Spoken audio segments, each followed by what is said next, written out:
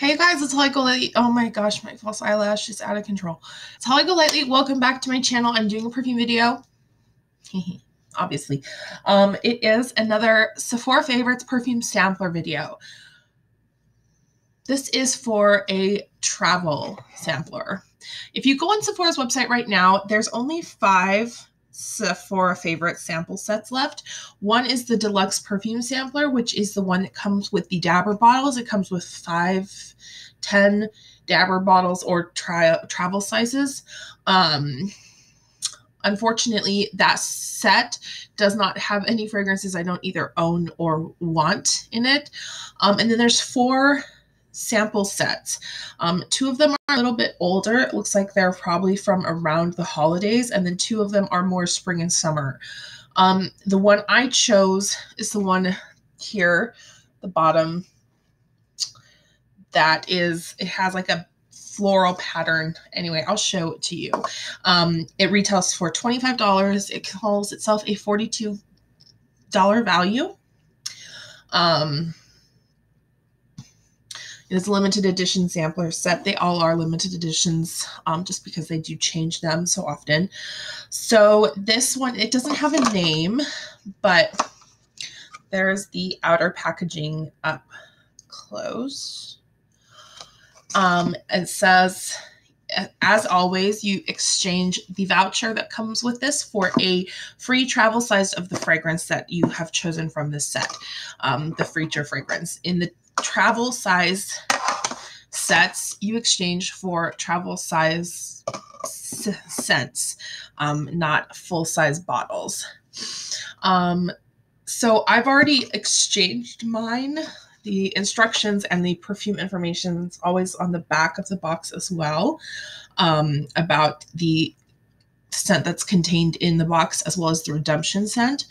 Um, I've already exchanged mine, but I will read to you the information just in case you need a refresher on how the Sephora Favorites perfume samplers work.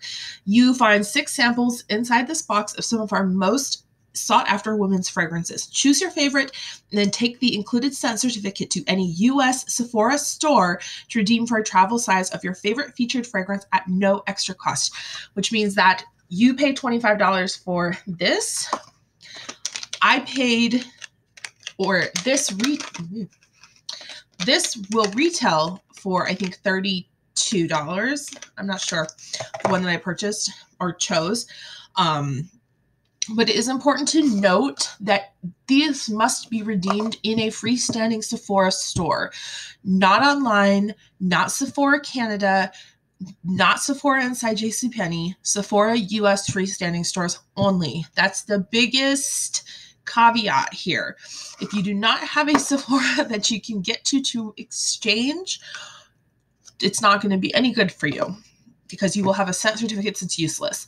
Sephora online won't help you. They won't send you something. Um, your only option is to keep it until you travel somewhere to where there is a Sephora store. The good news is is that these scent certificates are redeemable um, at any time. There's no expiration date. Once you've purchased it, it's yours. This particular set looks like this. First of all, Sephora, I want to applaud you on this box. Um, it comes, this comes, ooh, I'm all over the place. This comes with a little sleeve. It's like a little sleeve like this. You take it off. The box is a little tin box.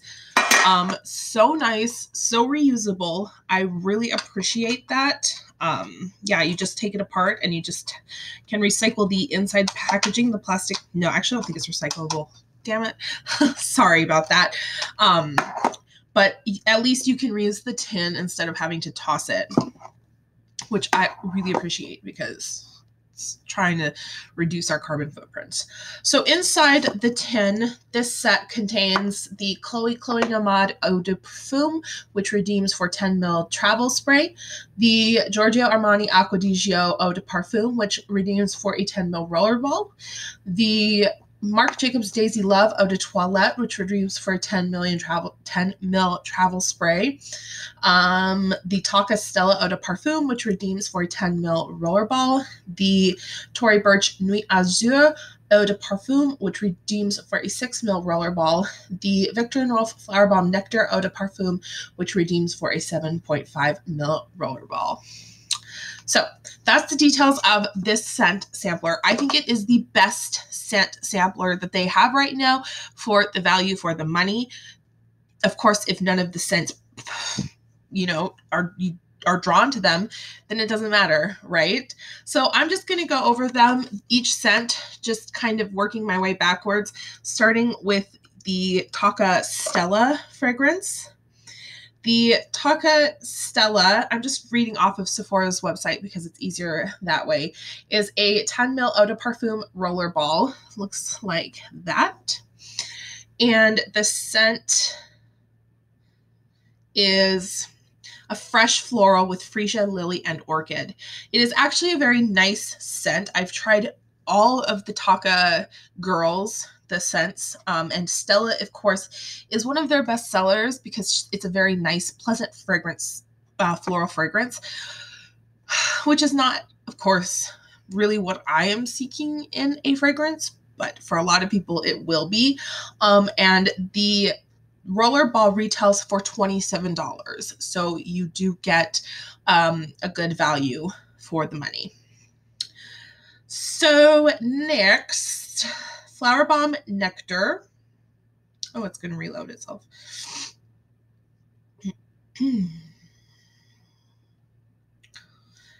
the Flower Bomb Nectar 0.75 mil eau de parfum spray is 32 retails for 32 US dollars and Flower Bomb Nectar is described as warm and spicy with warm and sweet gourmand scent of osmanthus, orange blossom, gunpowder accord. Uh, about essential blend of bewitching flowers, Flower Bomb Nectar completes the Flower Bomb collection. An eau de parfum intense, the Flower Bomb Nectar is a deep variation of the original Flower Bomb juice with explosive notes of orange flower and tonka bean. Top notes of bergamot oil, blackcurrant bud, and living gunpowder notes. It's literally in quotations in here. Living gunpowder notes of mineral, smoky, metallic, and ambery notes bring a fusing and vertical effect. It's very horizontal or vertical, like it's linear. I don't, I don't know where I was going with that. Middle tones of orange flower, jasmine, sambac, and osmanthus reveal a base of tonka bean, benzoin, vanilla, and patchouli. So that is the flower bomb nectar. $32, really good. Even though it is a smaller travel size, it is a perfume intense, which means it's a stronger scent. You do not need nearly as much as even a regular eau de parfum to um, to get a good uh, scent base. This um, let's see what it says. If it let's see if it says doesn't really say. Darn it. Um, but in general, it would have a um, a deeper scent concentrate than a regular eau de parfum. I got it. Obviously, that's one I chose because I'm waving it around, but I'll go into why when I'm done. so much fun, you guys. Are you having fun? I'm having fun. It has been a week, let me tell you. But I wanted to do this video so I could put these away because I have another video that I've been promising. And then I have a an interesting, a more interesting kind of perfume video. It's like a perfume apology video that I want to do. The next scent is the Tory Burch um, Nuit Azure. So the roller ball is a six mil roller ball. It retails for 30 US dollars. It is a floral, classic floral with keynotes of fig, freesia, cedarwood heart, and patchouli heart. Fragrance description: Tory, bleh, Tory Burch Nuit. Tory Burch, Nuit Azure captures the allure of the Mediterranean after dusk, channeling the impulsive sens- sensuality of a starlit swim. Ooh. It is a fresh, woody floral fragrance that transports you to the warm air and gentle breezes of perfect escape. Like a bouquet of night booming flowers stirred by a coastline breeze, crisp leaf and salty fig are illuminated by Sicilian mandarin. Pink peony, freesia, intoxicating orange flower, and exotic jasmine sambac evoke visions of moonlight on water, luxurious patchouli patchouli, what was that, and vetiver reveal themselves wrapped in the warmth of cedarwood and glamorous musk, waking the senses for a late summer swim in the sea, made for evenings spent by the water. So I assume that if you did wear this as directed, an evening spent by the water, you probably would get a really nice effect. Just saying, it's a possibility. So next, we have Sephora, Sephora, Chloe Nomade Eau de Parfum. This one was a real, this one really, mm, I really wanted this. But the thing is, I decided that I wanted this in a standard size bottle and not a travel spray, which I don't feel that way about the Flower Bomb Nectar. That was the biggest factor in my decision between this particular scent and the Flower Bomb. Sorry, you guys. Ugh, my hair shedding super bad. I just washed it the other night. Um, so the Chloe Nomad Eau de Parfum is a 10 ml perfume travel spray. It retails for 30 US dollars. Looks like that. The scent is a floral, a warm floral with a sense of key, mo- key notes of oak moss, freesia, and mirabelle liqueur. Um, the intense mineral character of oak moss is enveloped in the voluptuous softness of Mirabelle plum. From this freshness emanates a bright floral note carried by freesia, natural ingredients brought into focus by perfumer Quentin Bisch. Bisch revealing accords as exhilarating as the feeling of the escape they inspire. It's actually a really beautiful scent. I have been more and more impressed by Chloe's releases, the brand releases, um, as they have gone on. The first few, like, I didn't really love. Um, Roses to Chloe and the other one but I did come to really like the original Chloe signature, um, and I really, really like this scent, the Nomad. So another at $30, another really good value for your money. Then we have Acqua di Gio by Giorgio Armani.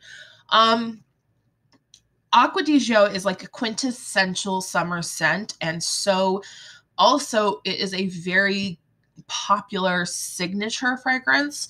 So for a lot of people who like lighter, fresher scents, this is um, really appealing to them, especially if heavier scents cause um, headaches or reactions. Excuse me. Uh, so that is why you will see scents like uh, Acqua di um, light blue for summer, um, and then in like the winter boxes, there are often things like the Elizabeth and James scents that are repeated that you see them often. Not only are they best sellers, but they're also very easy for most people to wear. So they're guaranteed like hit. Excuse me. Acqua di Gio retails for 10 mil eau de parfum travel spray. Um, and it is 24 us dollars. Um, so it's not quite as good of a value but it's still you're not really like losing out on anything. The value's still there. Hmm. oh my goodness my throat is tickly. The it's a fresh aquatic with keynotes of cedar jasmine and lemon. Very easy to wear. Um, very common, um, nothing strange, nothing unexpected is happening here. The fragrance's top notes rise like a soft sea breeze, bringing forward a sensual blend of cool mint, warm brown sugar, and the zest of Italian lemon. Next, the heart notes emerge with beautiful floral hints of jasmine, dew of peony, and traces of pink pepper.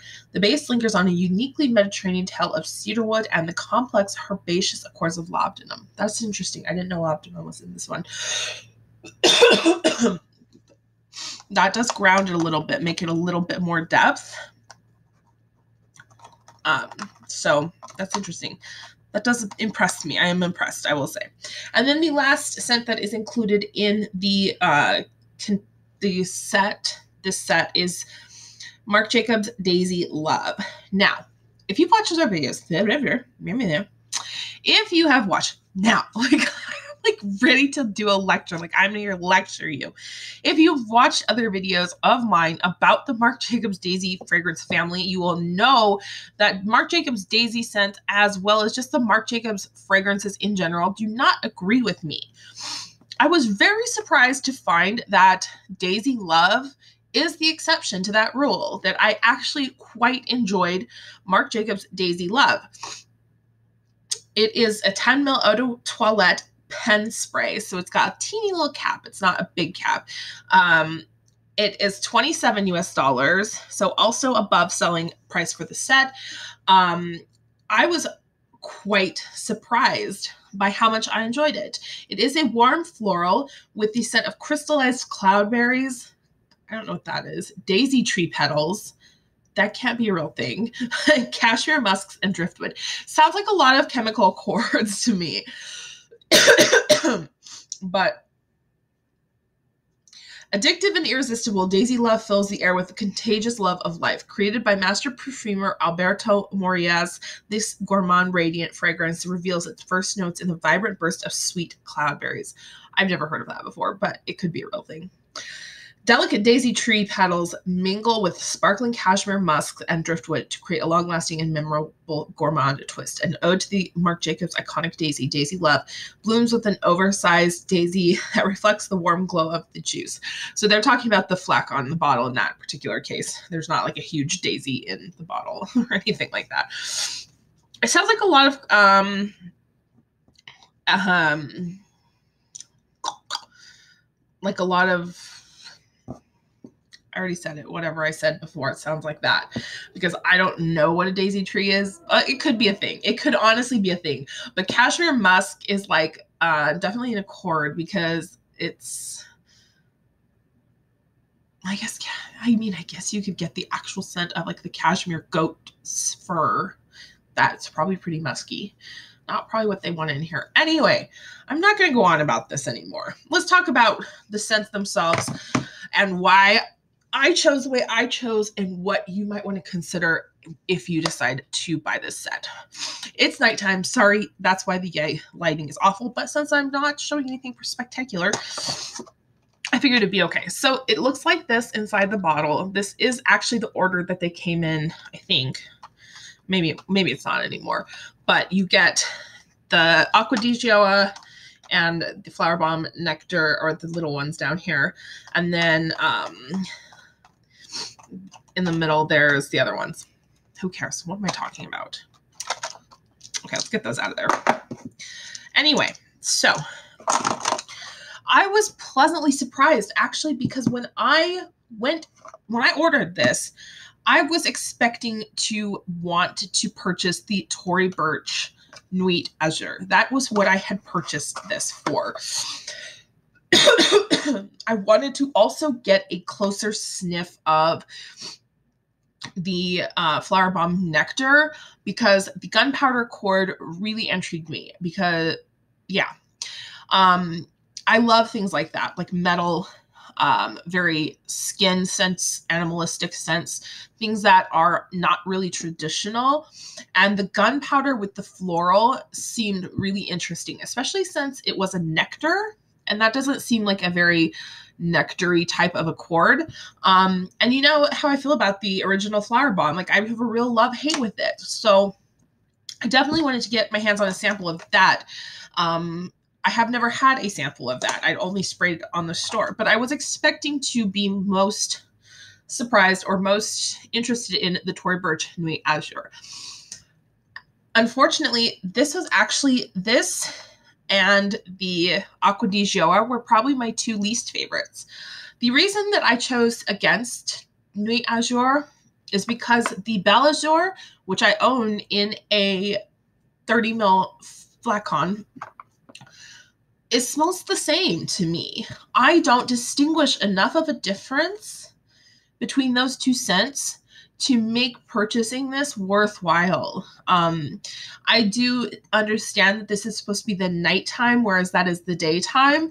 Um, but honestly, other than maybe some additional floral scents and less citrus, it's not a huge difference. And I didn't find myself falling in love with it. Acqua di Gioia is a beautiful scent. Again, like I said, it's a very easy scent to wear, but for the money, I'm just not interested in it. this Tocca Stella scent is also a beautiful scent, but it is another very easy to wear scent. Um, to me, the Tocca fragrances are a little bit overpriced for the quality, in my opinion. Um, I do feel that even though they are eau de parfum, I think, yeah, they are eau de parfum. I don't haven't found one except for Margot, which was discontinued. I haven't found one that actually um, lasts or projects very far on the skin. Which, if you are looking for a floral that hangs tightly to your skin, that's a different thing entirely. But because I wear perfume as an accessory, um, I wear perfume for other people to notice um, as much as, you know, they should. I try not to like hit people over the head with it, but to me, the projection and the just the quality of the scent is not worth investing in. It's it's not. I get the Tocca sets every year at Christmas time, and I have so many travels of these different Stella, Cleopatra, Florence. Florence is my favorite. Um, I just don't need to to get another one. So that's that's why.